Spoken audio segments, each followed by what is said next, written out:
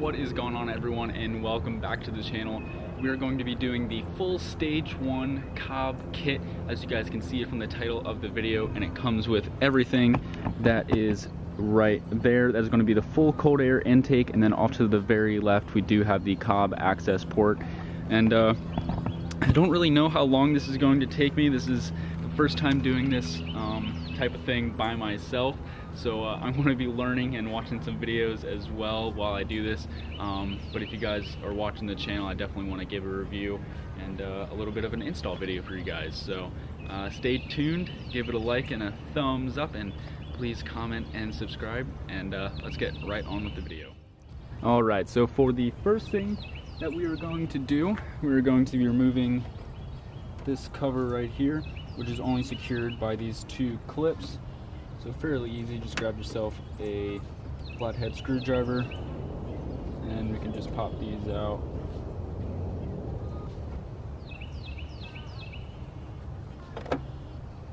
So the next thing that we're going to be taking off is the MAF sensor right here. It's held on by two um, Phillips head screws and make sure not to to drop these screws anywhere. And the second one's kind of pushed off to the left.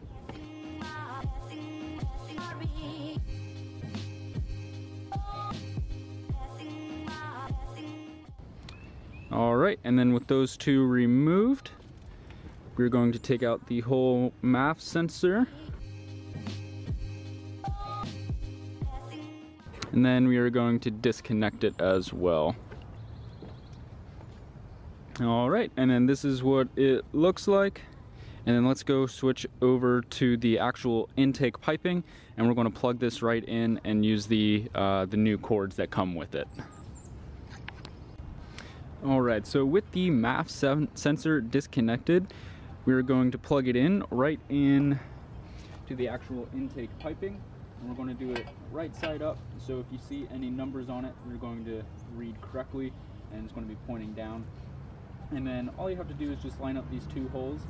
And with these two bolts that are um, in the little baggie of hardware we're just going to get an allen key and we're going to uh, put them right into the little uh, screw holes and then with these stock um, with like the OEM screws just make sure to keep those just in case you ever have to uh, put your car back to stock that way you can put it back onto uh, the stock uh, airbox.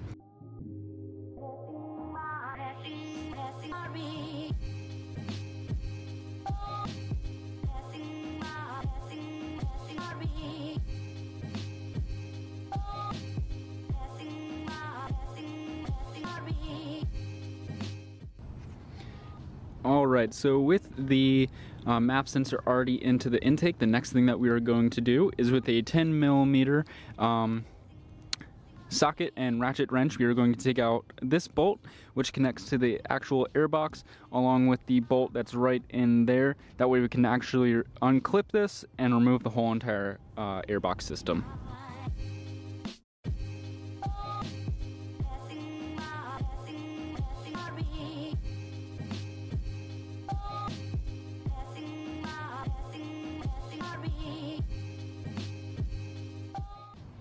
All right, and then once it is loose enough, kind of just get it out with your hand because you really don't want anything falling into the bottom tray of the car. All right, and then with both unattached, we can go ahead and remove the whole entire air box.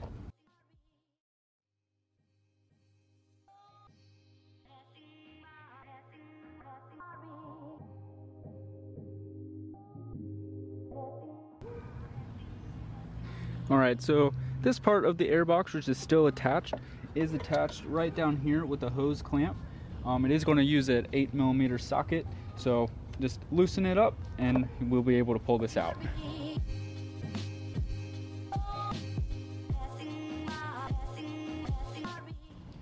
All right, finally free. My goodness, that took a little bit longer than expected. But we finally have the whole entire airbox off. And what is left is just the actual intake piping, which we're going to need to take off in just a little bit. All right, so skipping to the next part, a few minutes later, we do have to take off the uh, the skid plate. That was a pain in itself. If you have this tool, it makes things a little bit easier, but still everything is still very tight in there and most likely you're going to have to buy new clips. These are pretty much the ones that I was able to save. Uh, most of them snap off because of how brittle they are already. Um, but with the skid plate already down, we're going to be able to see the turbo and then that is the rest of the intake piping that we are going to be taking off. Uh, so we're gonna go get in there and take off that hose clamp and take off the rest of the piping. And another thing with uh, the clips down here, there are actually two uh, bolts holding it in place as well, which are going to be uh, two 12 millimeter bolts. All right, and first things first, before we go any further with the intake side, we are going to uh, secure um, the given piece right here. And then we're going to label it right over top of this. Um, but we do have to take off these bolts real quick and they are a 10 mil. So we're just going to take them off, put this right back over, and then secure it down again.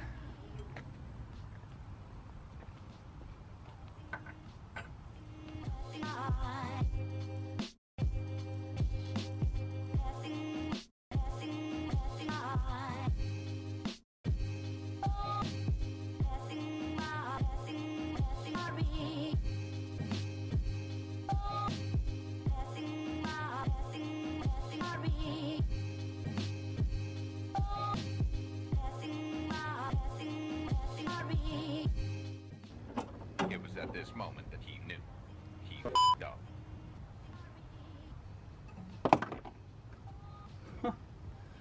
All right, cool.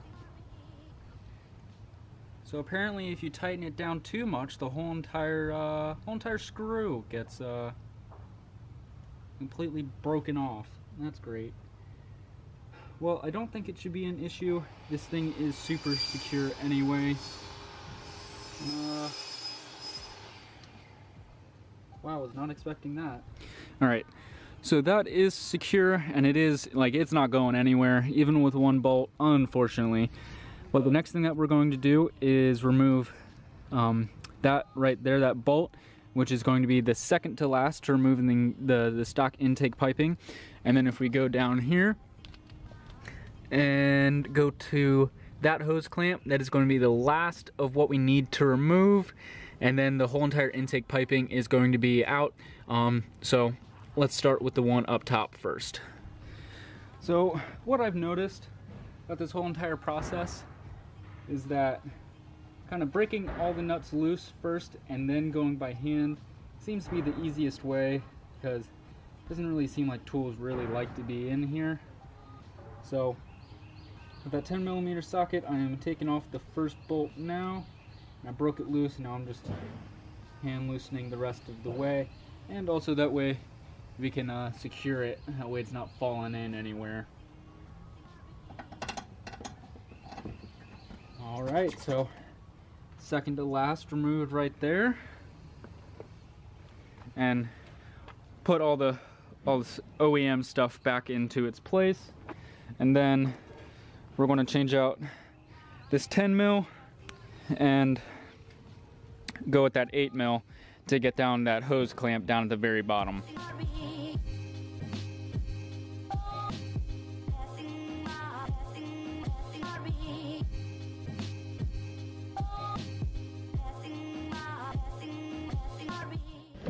All right, that is all the intake piping. And look at that Terpsky mine. Look, if we can see in there, whoa, look at the turbine, whoa. all right, all that's done. Let's go back up top and pull everything out.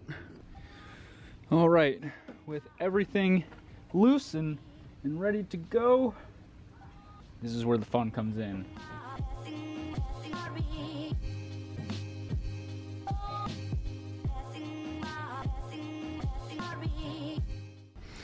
All right, so the next part is going to be getting the coupler and getting the two hose clamps and fitting it onto this.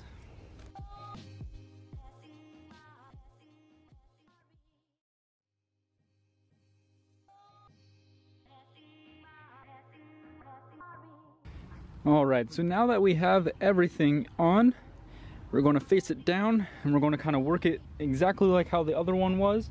Um, and then kind of work it down in there.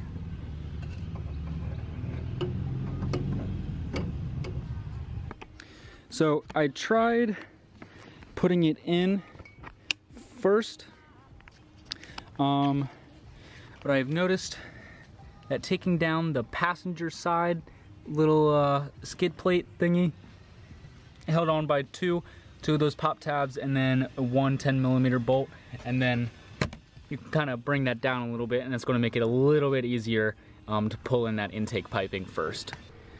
All right, after a little bit of maneuvering and a little bit of help, we finally have it on.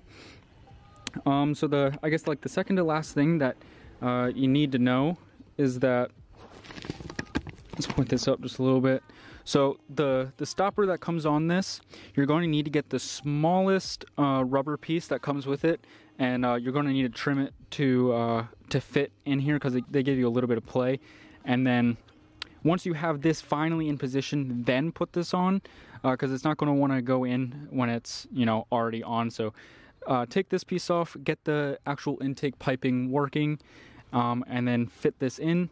And I mean, this thing is secure. Um, so let's move on to the next thing. All right, and before we put the actual intake on, I'm gonna do that part very last just because I don't want anything falling on the actual intake itself. Uh, the thinnest one is going to go all around here.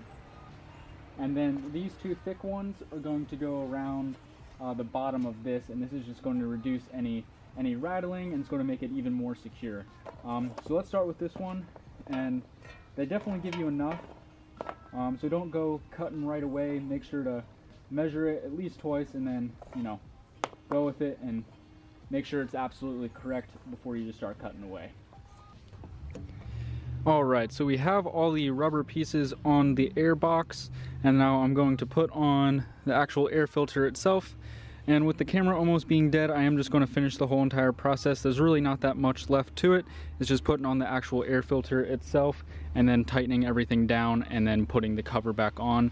Um, but I'll take some pictures throughout with my phone and kind of place them in as placeholders instead of video.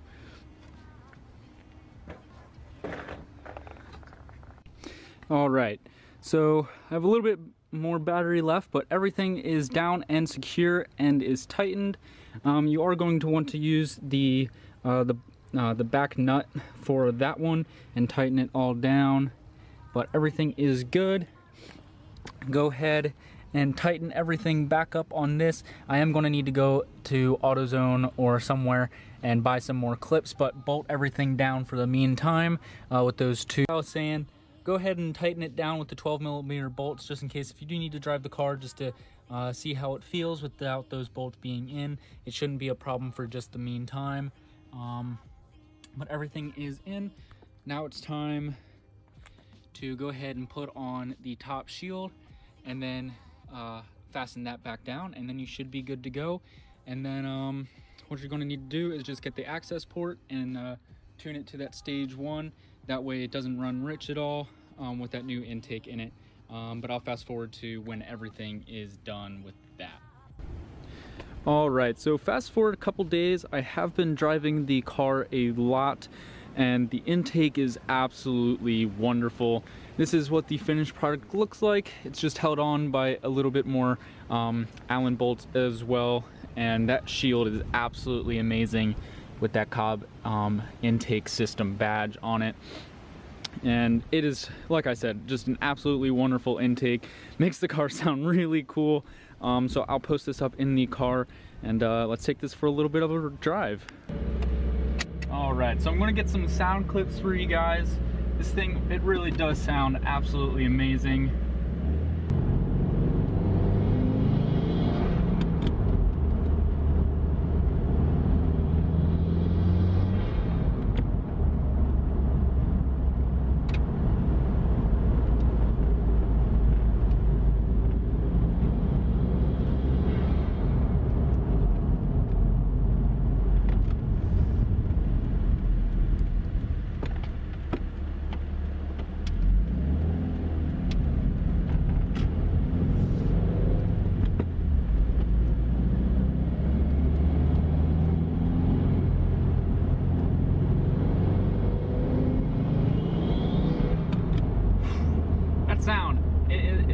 Gets old. It never gets old, seriously.